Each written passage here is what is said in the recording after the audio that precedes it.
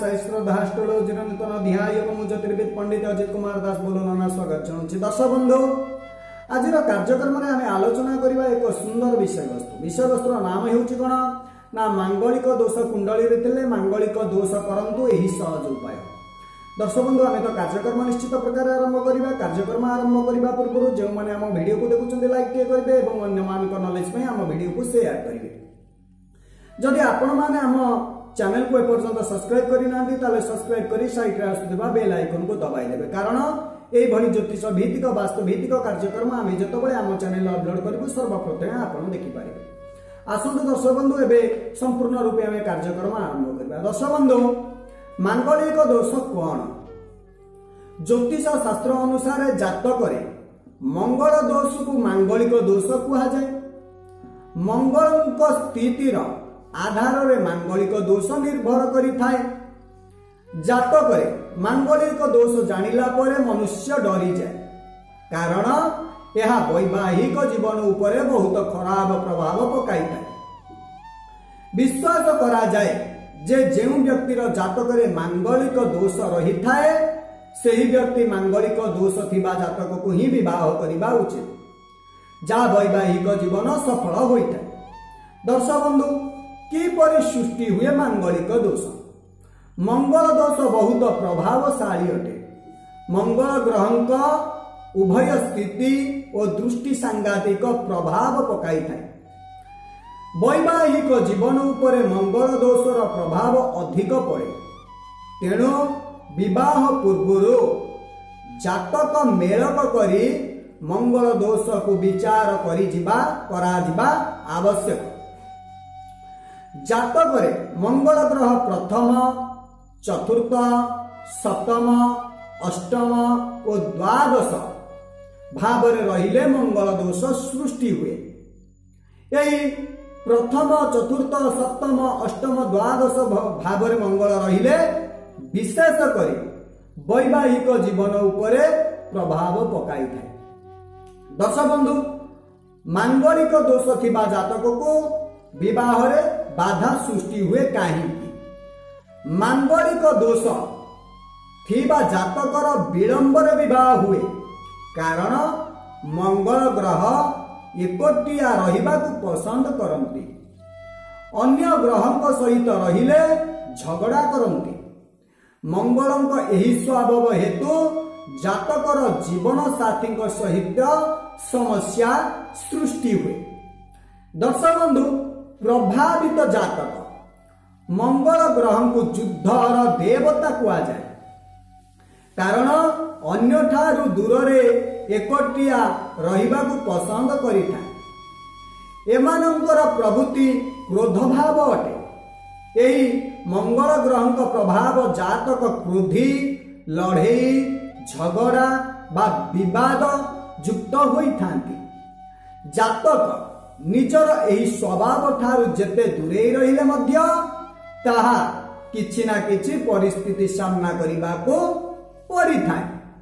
ଯେଉଁ କାରଣରୁ ବ୍ୟକ୍ତି କ୍ରୋଧଜନିତ ସମାଧାନ କରିବାକୁ ପଡ଼ିଥାଏ ଏହି ଜାତକ ଚିଡ଼ିଚିଡ଼ା ଓ ଝଗଡ଼ାଳୁ ହୋଇଥାନ୍ତି ପ୍ରଭାବ ବିବାହରେ ବିଳମ୍ବ ହେବା ବିବାହ ସମ୍ବନ୍ଧ ଠିକ ହେବା ପରେ ବିବାହ ଭାଙ୍ଗିଯିବା ବିବାହ ସମୟରେ ବାଧାବିଘ୍ନ ଦେଖାଦେବା ବିବାହ ପରେ ଜୀବନ ସାଥୀଙ୍କ ସହିତ ଝଗଡ଼ା ହେବା ଓ ସମ୍ବନ୍ଧରେ ତିକ୍ତତା ଆସିବା ବୈବାହିକ ଜୀବନରେ ଦୁଃଖ ପାଇବା ଅଯଥା କଥାରେ କ୍ରୋଧ କରିବା ମାଙ୍ଗଳିକ ଦୋଷ ପ୍ରଭାବରେ ଜାତକ କ୍ରୋଧୀ ଅହଙ୍କାରୀ ଓ ଝଗଡ଼ାଳୁ ହୋଇଥାନ୍ତି ଦଶ ବନ୍ଧୁ ଆପଣଙ୍କୁ ଆମେ କହିବୁ ଉପାୟ କ'ଣ ରହୁଛି?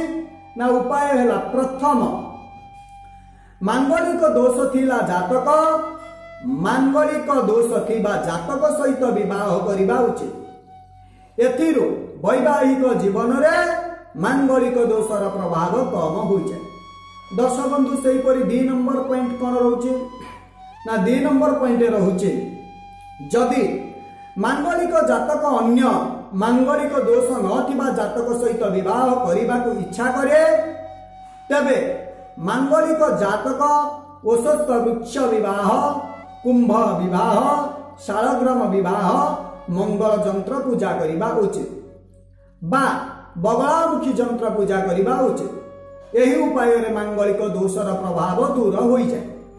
ଦର୍ଶବନ୍ଧୁ ସେଇଭଳି ତିନି ନମ୍ବର କଥା କଣ ରହୁଛି ନା ତିନି ନମ୍ବର କଥା ରହୁଛି? ମାଙ୍ଗଳିକ ଦୋଷ ଜାତକ ଶ୍ରୀ ହନୁମାନ ଚାଳିଶା ପାଠ କରିବା।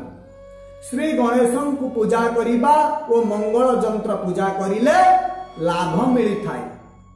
ଚାରି ନମ୍ବର କଥା କଣ ରହୁଛି? ନା ପ୍ରତ ପ୍ରତ୍ୟେକ ମଙ୍ଗଳବାର ଦିନ ବ୍ରତ ରଖିବା। ସହ ଶ୍ରୀ ହନୁମାନ ମନ୍ଦିରକୁ ଯିବା ଉଚିତ। ଏହା କରିବା ଦ୍ୱାରା ମଙ୍ଗଳଙ୍କ ପ୍ରଭାବ କମ ହୋଇଯାଏ। ଦର୍ଶବନ୍ଧୁ ପାଞ୍ଚ ନମ୍ବର କଥା। ଯଦି ମାଙ୍ଗଳିକ ଦୋଷ ଥିବା କନ୍ୟାର ବିବାହ ମାଙ୍ଗଳିକ ଦୋଷ ନଥିବା ବ୍ୟକ୍ତି ସହିତ ହୁଏ ତେବେ ଏହି ଦୋଷ ନିବାରଣ ହେତୁ ମଙ୍ଗଳ ଗୌରୀ ଓ ବଟ ସାବିତ୍ରୀ ବ୍ରତ କରିଲେ ସୌଭାଗ୍ୟ ପ୍ରଦାନ କରିଥାନ୍ତି। ଛଅ ନମ୍ବର କଥା କଣ ରହୁଛି? ନା ମହାମୃତ୍ୟୁଞ୍ଜୟ ମନ୍ତ୍ର ଜପ କରିଲେ ସବୁ କଷ୍ଟ ନିବାରଣ ହୋଇଥାଏ। ଦଶ ବନ୍ଧୁ ସେଇଭଳି ସାତ ନମ୍ବର କଥା କଣ କହୁଛି?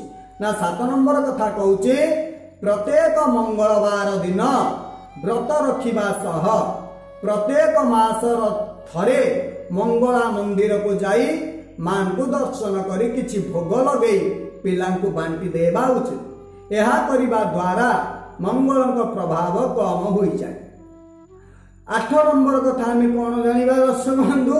ସେହିପରି ଅଷ୍ଟମ କଥା ଆମେ କଣ ଜାଣିବା ନା ଅଷ୍ଟମ କଥା ହେଲା ସବୁ ଉପରୋକ୍ତ ବିଧାନ କରିବା ଅକ୍ଷମ ହେଲେ ପ୍ରାଣ ପ୍ରତିଷ୍ଠିତ ସମ୍ପୂର୍ଣ୍ଣ ବଗଳାମୁଖୀ ଯନ୍ତ୍ର ସାରା ଜୀବନ ପୂଜା କରି ଚାଲିଲେ ମଙ୍ଗଳ ଦୋଷ ଖଣ୍ଡନ ହୋଇ ଦାମ୍ପତ୍ୟ ଜୀବନ ସୁଖମୟ ହେବା ସହ ଭବିଷ୍ୟତ ବଂଶଧର ମାନଙ୍କର ଉନ୍ନତି ହେବ ଦଶବନ୍ଧୁ ଆଂଶିକ ମଙ୍ଗଳିକ ଦୋଷ ଏହି ଦୋଷ ଜାତକର ଅଠର ବର୍ଷ ବୟସରେ ସମାପ୍ତ ହୋଇଯାଏ। ଏହାର ପ୍ରଭାବ କମ ହୋଇଥାଏ ଏବଂ ଏହାର ନିବାରଣ ପାଇଁ ପୂଜା ଓ ଅନୁଷ୍ଠାନ ଦ୍ୱାରା ଦୂର କରାଯାଏ। ଶାନ୍ତି ପୂଜାରେ ଏହି ମଧ୍ୟ ଏହି ଦୋଷ ସମାପ୍ତ କରାଯାଏ। ଦର୍ଶବନ୍ଧୁ ଏକାଧିକ ମଙ୍ଗଳ ଦୋଷ। ଯଦି ଆପଣଙ୍କ ଜାତକରେ ଡବଲ ବା ତ୍ରିପଲ ମାଙ୍ଗଳିକ ଦୋଷ ଥାଏ ତେବେ ଏହାକୁ ଏକାଧିକ ମାଙ୍ଗଳିକ ଦୋଷ କୁହାଯାଏ। ଏହି ଦୋଷ ଖଣ୍ଡନ ପାଇଁ ବାର ବର୍ଷ ବୟସରୁ ପ୍ରାଣ ପ୍ରତିଷ୍ଠିତ ସମ୍ପୂର୍ଣ୍ଣ ବଗଳାମୁଖୀ ଯନ୍ତ୍ର ସାରା ଜୀବନ ପୂଜା କରି ଚାଲିଲେ ମଙ୍ଗଳ ଦୋଷ ଖଣ୍ଡନ ହୋଇ ଦାମ୍ପତ୍ୟ ଜୀବନ ସୁଖମୟ ହେବା ସହ ଭବିଷ୍ୟତ ଯାହାକୁ କୁହନ୍ତି ଭବିଷ୍ୟତ ବଂଶଧର ମାନଙ୍କର ଉନ୍ନତି ହେବ। ବିବାହ ସମୟରେ କୁମ୍ଭ ବା ଘଟ ବିବାହ କରାଇ ନେବା ଉଚିତ ଯାହାକି ମାଙ୍ଗଳିକ ଜାତକ ଏକ ମାଟିର କଳସ ସହିତ ବିବାହ କରାଇ ବିବାହ ପରେ ଏହି ମାଟି ଘଟକୁ ଜଳରେ ପ୍ରବାହିତ କରାଯାଏ। ଏହି ଉପାୟରେ ଏକାଧିକ ମାଙ୍ଗଳିକ ଦୋଷ ସମାପ୍ତ ହୁଏ। ଦର୍ଶକ ବନ୍ଧୁ ଇଏ ତ ଥିଲା ଛୋଟିଆ କାର୍ଯ୍ୟକ୍ରମଟିଏ। ପୁଣି ଏକ ନୂତନ କାର୍ଯ୍ୟକ୍ରମରେ ମୁଁ ଆପଣଙ୍କ ସହିତ ଭେଟ ହେବି। ସେଥି ପର୍ଯ୍ୟନ୍ତ ମୋତେ ବିଦାୟ ଦିଅନ୍ତୁ। ମୁଁ ରହୁଛି। ନମସ୍କାର। ଜୟ ଜଗନ୍ନାଥ। ଜୟ ସାଇରାମ। ଜୟ ଗୁରୁ।